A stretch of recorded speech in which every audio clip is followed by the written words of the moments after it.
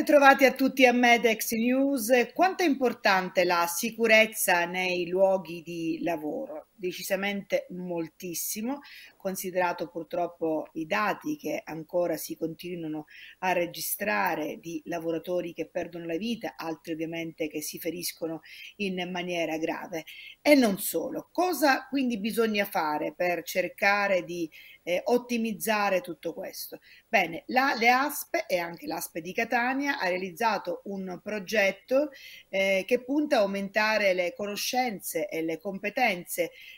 eh, degli operatori sanitari e sociosanitari in modo da sviluppare programmi di eh, prevenzione finalizzati alla promozione di stili di vita, che è fondamentali, e alla prevenzione, come detto, anche dei fattori di rischio compartimentali su quelli che sono appunto tutto ciò che ruota attorno al mondo del lavoro.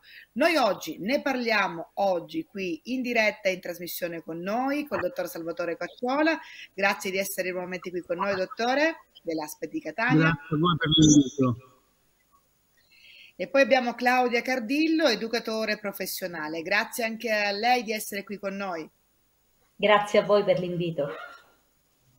E allora, dottore Cacciola, eh, come ASPA avete organizzato questo bel focus che è stato seguito sia in, eh, in, presenza ma anche in streaming da tantissime persone? Noi oggi cercheremo appunto qui a Medex di fare il punto della situazione, un, un, un, bilancio positivo che verte appunto grazie a questo progetto CCM 2018 Azioni Centrali di dare davvero un supporto fondamentale a tutto quello che è l'implementazione in realtà regionali italiane sulla sicurezza nei posti di lavoro.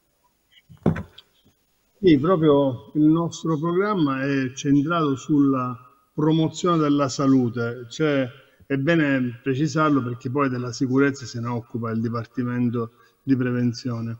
E che significa? Significa che gli operatori dell'azienda sanitaria, i lavoratori delle varie aziende pubbliche e private hanno il diritto di mh, avere anche nel loro posto di lavoro eh, una serie di opportunità per cambiare il loro stile di vita, per eh, orientarli verso uno stile di vita eh, salutare. Questo programma è un programma che mh, è da anni che si sperimenta dal 2014 nella regione Lombardia e anche in altri paesi europei. E con un programma CCM che ha coinvolto la regione Lombardia come capofila, la Liguria, il Friuli Venezia Giulia e l'ASP di Catania, eh, abbiamo concretamente eh, sperimentato e lo faremo anche nei prossimi anni delle pratiche, ovviamente con l'evidenza scientifica, che ci consentono di dire, eh, di consigliare quali sono eh, le strategie migliori per promuovere salute. Facciamo degli esempi concreti per intenderci. Eh, che significa modificare l'offerta di cibo nelle mense aziendali? Che significa ridurre, per esempio, eh, una percentuale di sale nel, nel pane o nei condimenti? Che significa promuovere attività fisica anche per i dipendenti? Eh, oppure il contrasto al tabagismo piuttosto che eh, all'alcol o alle altre droghe. Si tratta di offrire percorsi mh, concreti che sono tutti orientati per il benessere delle persone. Nella nostra azienda sanitaria, così come nelle altre regioni, sono stati scelti dei target. Per esempio, nella nostra azienda abbiamo scelto due target. Uno che sono i dipendenti dei nostri sei ospedali, e le iniziative che faremo saranno tutte concentrate eh, dentro i nostri ospedali. Eh, un esempio concreto, promuovere l'uso delle scale anziché dell'ascensore. Se uno fa attività di movimento usando le scale, promuove la sua salute. Eh, così come ehm, le attività di gruppi di cammino, di ginnastica dolce, anche nelle strutture, nei luoghi dedicati nelle strutture ospedaliere. L'altro pezzo di cui parlerà la dottoressa Cardillo riguarda le, le piccole e medie aziende agricole che fanno agricoltura sociale. Ecco, noi stiamo vedendo, dottore, un po' quelle che una sintesi ovviamente dettagliata del, del, progetto che voi avete presentato, come da lei ben descritto all'interno di questo focus, che eh, ha, ben fatto, ha, ben detto lei, è stato in sinergia appunto anche con altre ASP non solo quel eh, siciliano, perché il problema appunto della sicurezza del posto di lavoro è una tematica che purtroppo ehm, è molto sentita a livello nazionale perché continua purtroppo a dare un numero di morti eh, non indifferenti. Ecco.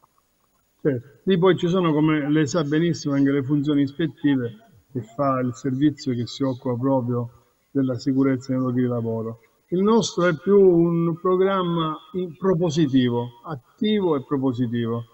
E dentro un'ottica che è stata eh, descritta in una di queste slide che abbiamo già passato, che è quella che c'è un unico eh, approccio nel corso della vita, non c'è il tempo del lavoro, quello dell'istruzione, quello del tempo libero. Allora noi pensiamo di utilizzare proprio questo approccio basato sull'intero arco della vita eh, indipendentemente dall'età, dalle, eh, dal genere, dalla professione, cioè la salute deve essere promossa sempre e dovunque, in questo caso nei luoghi di lavoro. E appunto rivedere con lei, dottore, se, se me lo permette, poi passerò ovviamente a parlare alle, delle, di quello che è la funzione delle fattorie eh, solidali. Vorrei rivedere insieme le slide, io chiedo alla regia di rimandarle, anche perché ecco qui insomma eh, eh, il focus, il tema principale del, eh, dell'incontro che voi avete realizzato.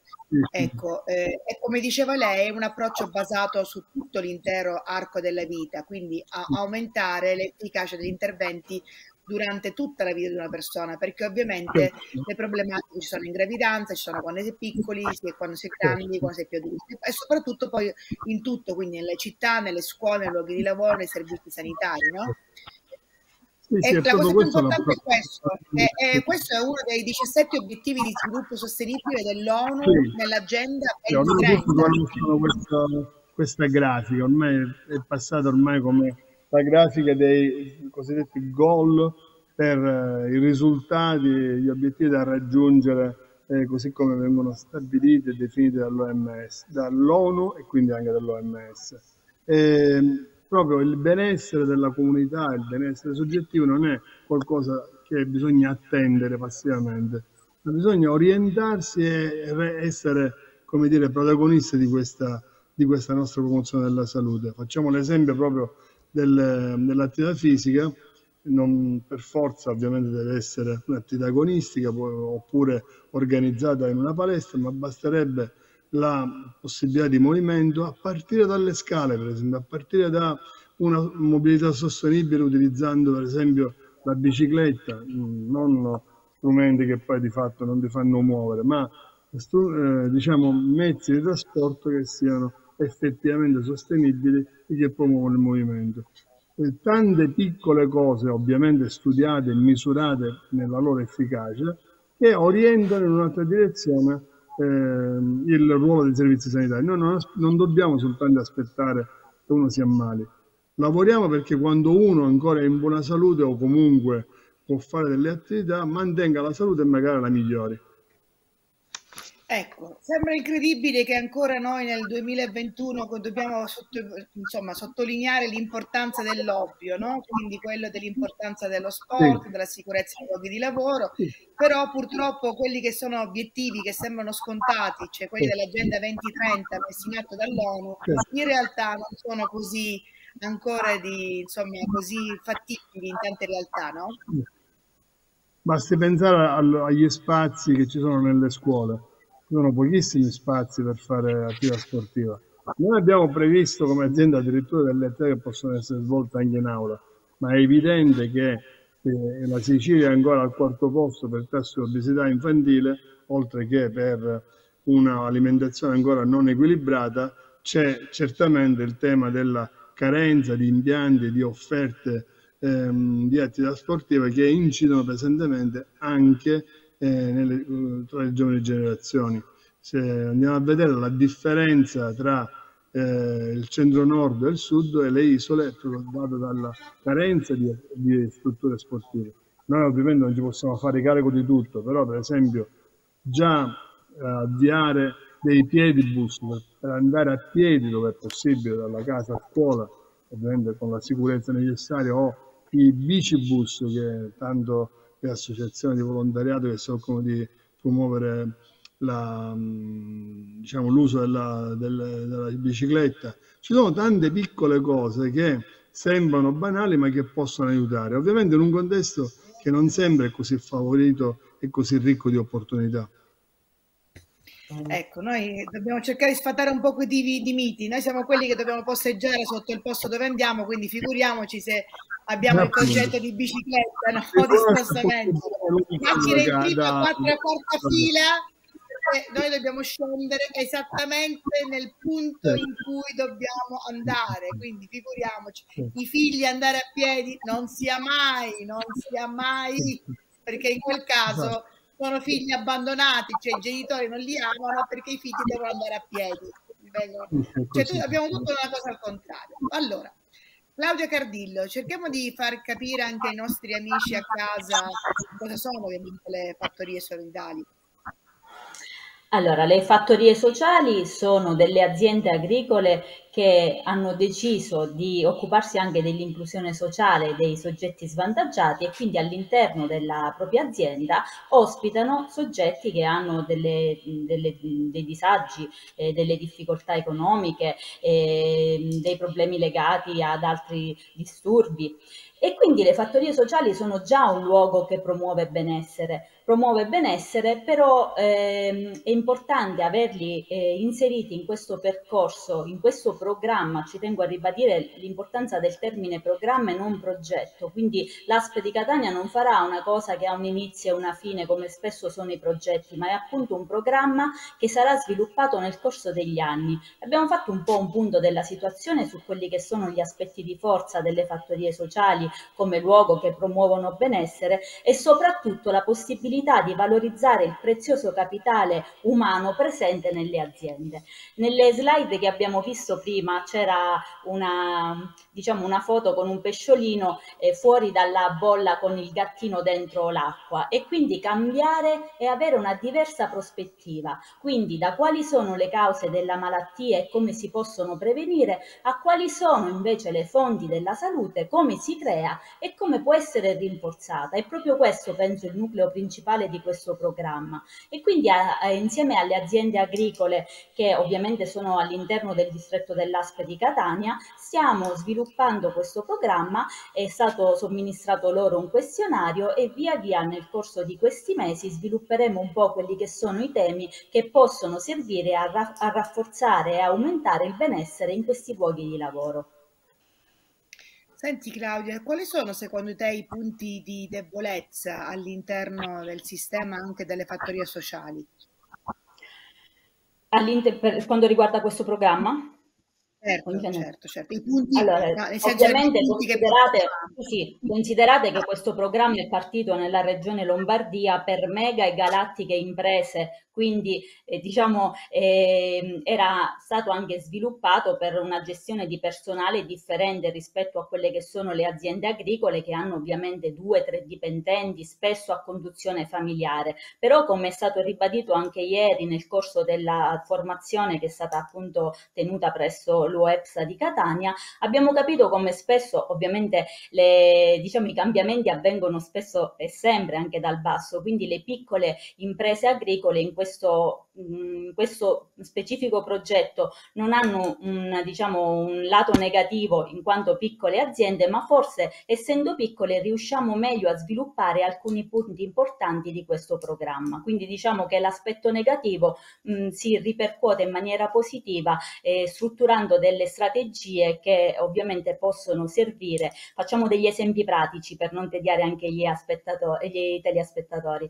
Se per esempio siamo in una fattoria sociale e c'è una scolaresca che va a fare visite didattiche, dice come, lo, come facciamo calare questo progetto? Lo possiamo fare calare perché all'interno delle fattorie sociali spesso si offre ai visitatori una merenda, quindi cominciare con la sana alimentazione, una merenda con un, diciamo dei prodotti della, della fattoria stessa e mh, iniziare a far passare il concetto della, della merenda sana nei bambini. Poi con gli insegnanti si fa un percorso per cui quel tipo di merenda che è stata degustata, si pensa di farla inserire proprio nel menù settimanale dei bambini che portano insomma a scuola quel, quel tipo di merenda. Per fare un esempio, eh, il pane fatto con il lievito madre, i grani antichi siciliani e l'olio di oliva è una giusta merenda e che può essere utilizzata ma che spesso per comodità non, non viene utilizzata e si preferiscono magari delle brioscine che diciamo non fanno molto bene alla salute. Quindi cominciare e sviluppare proprio la multifunzionalità dell'azienda agricola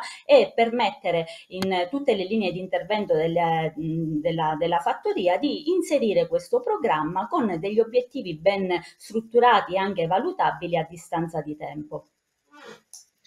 Poi tra l'altro credo che i bambini, insomma, quando vengono a mangiare il pane bello caldo con l'olio e il sale, secondo me ne sono ben contenti. Dovrebbero, è che non sono abituati perché appunto, come, come hai detto bene tu, le famiglie vanno ormai molto alla funzionalità della praticità, no? Quindi una, dare una briochina confezionata piuttosto che anche tagliare una fettina di pane diventa purtroppo a volte più funzionale, non comprendendo tutti i danni che invece ci sono dietro Ovviamente, uh, adotteremo, adotteremo, anche una mediazione, una concertazione perché le cose imposte dall'alto ovviamente non servono, anche per esempio l'importanza di ridurre pian piano il consumo del sale e quindi offrire la possibilità, e questo verrà sviluppato nelle mense ospedaliere, di avere anche la possibilità di utilizzare del pane senza sale per proprio entrare in questa cultura e quindi non attraverso l'imposizione ma attraverso una scelta.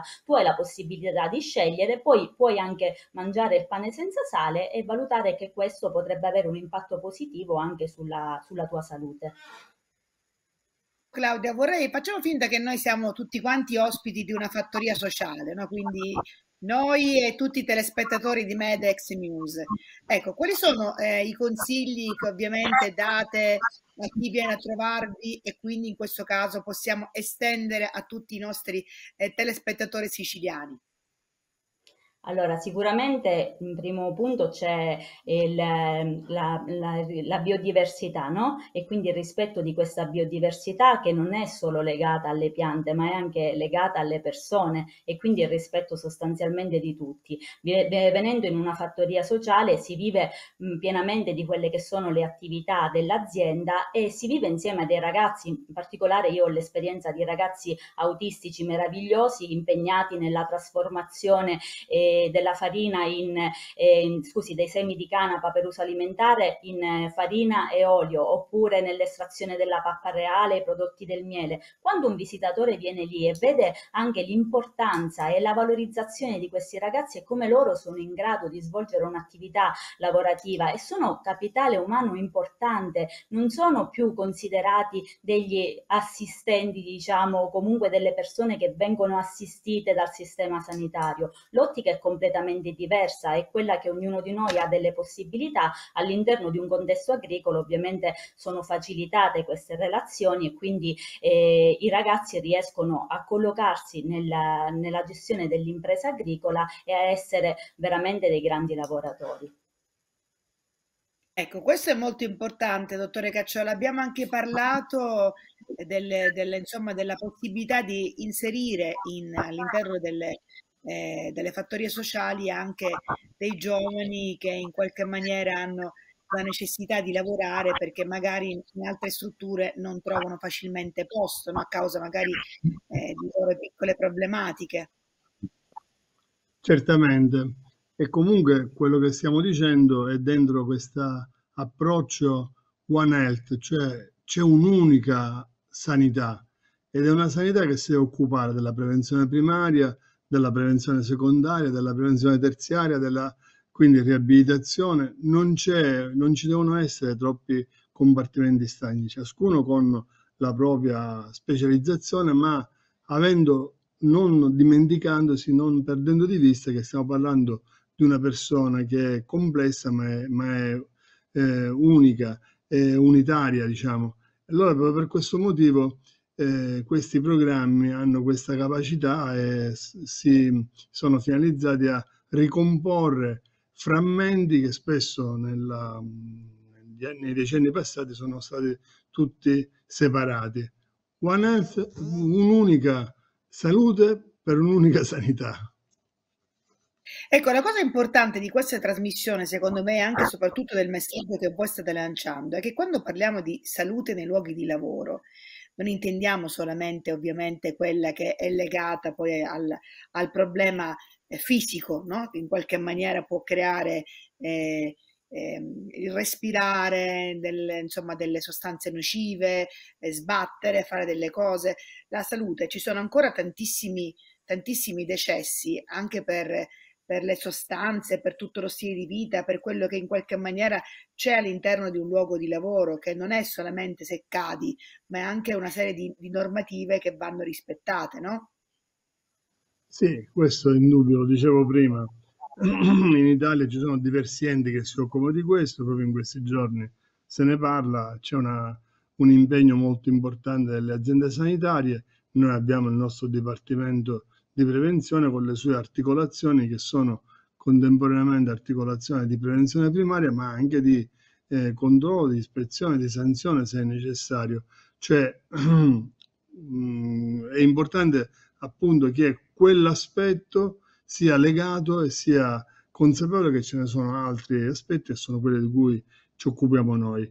Eh, posso assicurare che c'è una forte integrazione con gli altri servizi eh, facciamo degli esempi, in questo programma che stiamo svolgendo e che continueremo a realizzare abbiamo coinvolto il servizio per le tossicodipendenze, i servizi ospedalieri e, e il Dipartimento ovviamente di prevenzione perché non ci può essere una strategia se non integrando i servizi sanitari e anche andando oltre, perché per esempio se parliamo di promozione della salute e del movimento, certamente i comuni, le scuole, le associazioni eh, sportive, cioè è proprio un ricostruire, un valorizzare tutte le risorse che abbiamo nel territorio. Dottore Cacciola, io vorrei che la regia rimandasse per favore la slide relativa agli obiettivi in agenda dell'ONU del 2030, questa data che sembrava così lontana, ma che si avvicina sempre di più. Allora, voi dovete sapere che ovviamente l'ONU e quindi tutti i, pare- i paesi che hanno aderito hanno stabilito una sorta, insomma, di data in cui tutti i paesi si devono adeguare al rispetto dei punti eh, scelti da portare avanti. Eh, la salute nell'era degli obiettivi di sviluppo sostenibile, quindi la qualità della nostra salute, assicurare la salute e il benessere a tutti, ok? A secondo la fascia di età, è uno degli obiettivi di sviluppo sostenibile dell'ONU. In, questa, mm, in questo disco che ormai è per chi insomma è addetto ai lavori, ma no, quindi lo facciamo, lo comunichiamo anche ai nostri telespettatori, ehm, si sa, no? Ci sono, dottore Cacciola, questi eh, 17 punti per quanto riguarda la salute da raggiungere, che sembrano facili, ma in realtà purtroppo non sono così scontati, ecco. No, non lo sono, però sono molto importanti perché ci ecco, danno ecco, un obiettivo anche nel tempo. Come? No, no, dicevo da dicevo, di lasciare questa immagine frizzata. Sì, sì, dicevo che ci danno degli obiettivi anche misurati nel tempo, alcuni magari non si realizzeranno entro il 2030, ma eh, gli stati devono attenersi a questi obiettivi e se ci fate caso, alcuni che sembrerebbero solo di natura sociale poi hanno una forte ridondanza nella eh, strategia di salute. Immaginate il primo, povertà zero, no? questo primo obiettivo. Ehm, nei programmi della sanità pubblica si parla sempre di equità e di ridurre le diseguaglianze, perché è evidente che c'è un, una, un forte, una forte diseguaglianza nell'accesso ai servizi a causa dell'istruzione, del, del reddito e i programmi di sanità pubblica sono finalizzati anche a ridurre queste diseguaglianze, per esempio.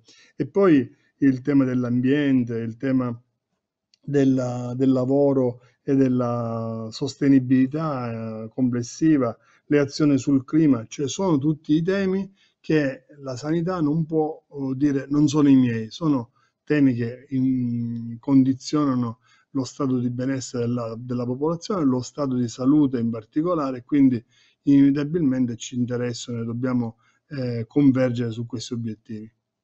Ecco, nel cerchio quello che vedete in maniera centrale, cioè il punto 3, è appunto quello relativo alla salute e il benessere, assicurare la salute e il benessere per, tutte, per tutti e per tutte le età.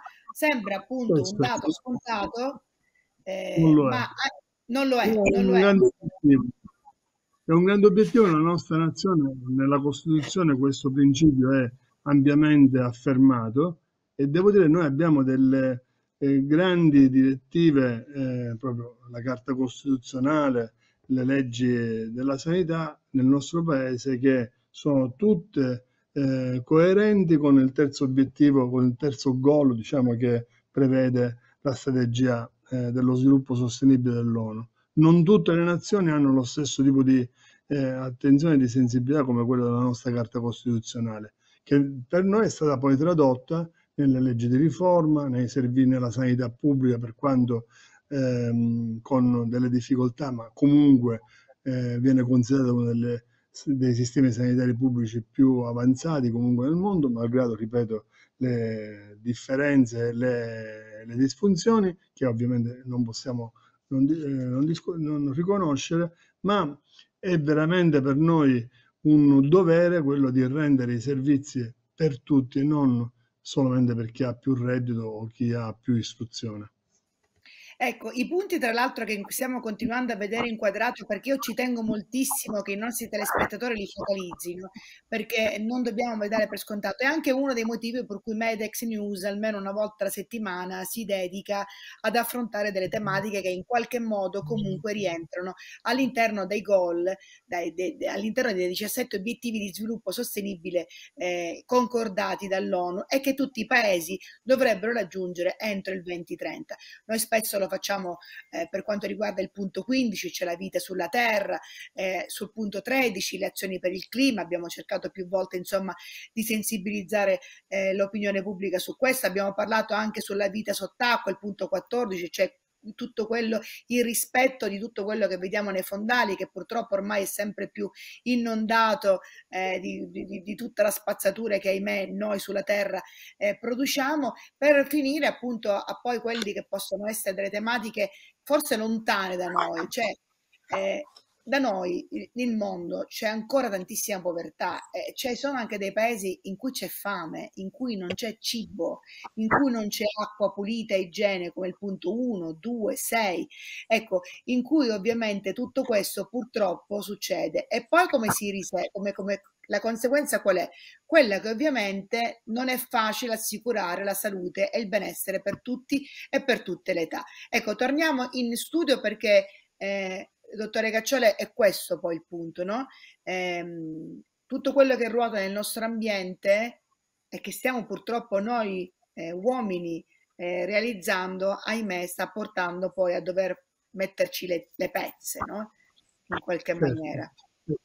La crisi pandemica è anche il portato, il risultato di queste situazioni di eh, disequilibrio, di mancanza di un sistema diciamo, che, che, che garantisca e tuteli l'ambiente, che non, eh, che non lo deturpi, che non lo modifichi a tal punto da produrre nuove, eh, nuovi salti diciamo, dal, dal genere animale eh, a, eh, agli uomini. Quindi ehm, c'è un problema di crisi ambientale lo vediamo, ha delle ripercussioni precise nelle migrazioni, nella salute, nell'aumento delle povertà e anche nella mortalità, eh, soprattutto infantile. Ovviamente il programma ha questo respiro perché è un programma che trae spunto da un approccio internazionale.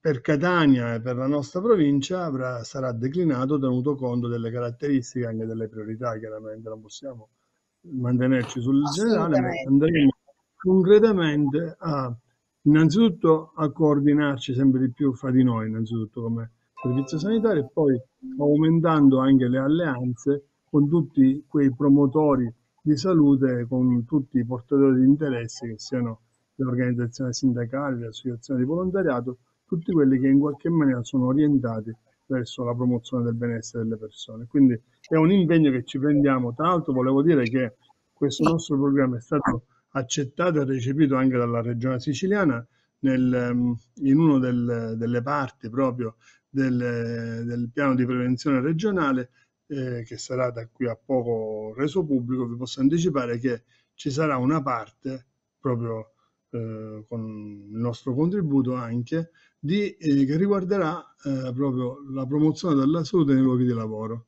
C'è questa sigla che è eh, VHP, un acronimo che sarà ripreso e si svilupperà non solamente a Catania, che sarà in qualche maniera l'ASP capofila, ma anche nelle altre ASP, eh, un programma che non è opzionale, ma riguarda eh, i cosiddetti livelli essenziali di assistenza. Lo facciamo perché diventeranno queste proposte diritti e non oh, cose opzionali. E purtroppo la Sicilia, appunto, come ha detto lei, dottore, è il quarto, è il quarto posto per obesità infantile. Noi siamo bravissimi a stare sul podio quando si tratta di, di, di dati negativi e altrettanto bravissimi a essere ultimi quando si tratta di dati positivi. Volevo chiudere eh, chiedendo ovviamente a Claudia Cardillo eh, che tipo di consigli possiamo dare quindi a coloro che ci seguono, che un po' sono, vuol dire, anche le, eh, quello che voi consigliate quando si viene a visitare una fattoria sociale. Le fattorie sociali sono un luogo di inclusione, quindi invito tutti i telespettatori a diciamo, eh, vedere quelli che sono le aziende presenti nel territorio e visitarle, perché un rapporto con la natura ovviamente facili, facilita diverse, diverse cose. Una visita in fattoria sociale sicuramente non migliorerà i problemi che ci sono, ma permetterà a ciascuno di loro di passare una giornata sicuramente in serenità e con un po' di benessere in più. Tra l'altro le fattorie sociali sono un po' sparse in tutta la Sicilia, giusto? Sì, sono sparse in tutta la Sicilia, quindi come diceva il dottore Cacciola, nel momento in cui il programma UHP è stato recepito anche dalla Regione Sicilia, anche le altre ASP, se vogliono, possono inserire le fattorie sociali perché sono presenti in tutti i distretti della, della Regione Sicilia, quindi è possibile sperimentare quello che è stato fatto a Catania anche nelle varie ASP della Sicilia. Bene, noi siamo davvero in chiusura. Dottore, voleva aggiungere qualcosa o abbiamo detto tutto? No, no mi pare eh, assolutamente completo per adesso diciamo, il nostro messaggio. Ci ritroveremo perché faremo, come ripeto, cose molto concrete che, hanno, che, sem- che non hanno bisogno di tante spiegazioni, ma richiedono un coinvolgimento diretto dei, dei cittadini e quindi eh, come dire, ritorneremo su questo, su questo tema nelle prossime settimane e noi ci auguriamo anche per i prossimi anni.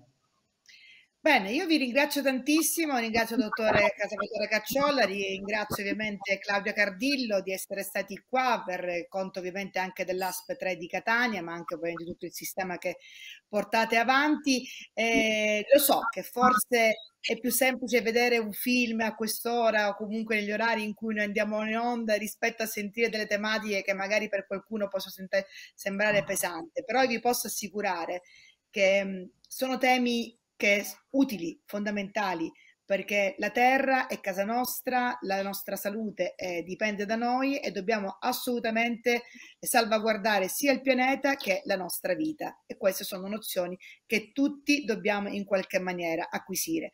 E lo scopo di Medex News e soprattutto di Medical Extra in TV è quello di salvaguardare voi e la vostra salute. Quindi grazie ancora a voi.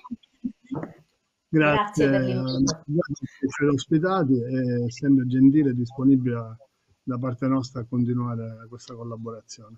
E la continueremo, ovviamente. Grazie a tutti e grazie ancora una volta di aver seguito Medex News.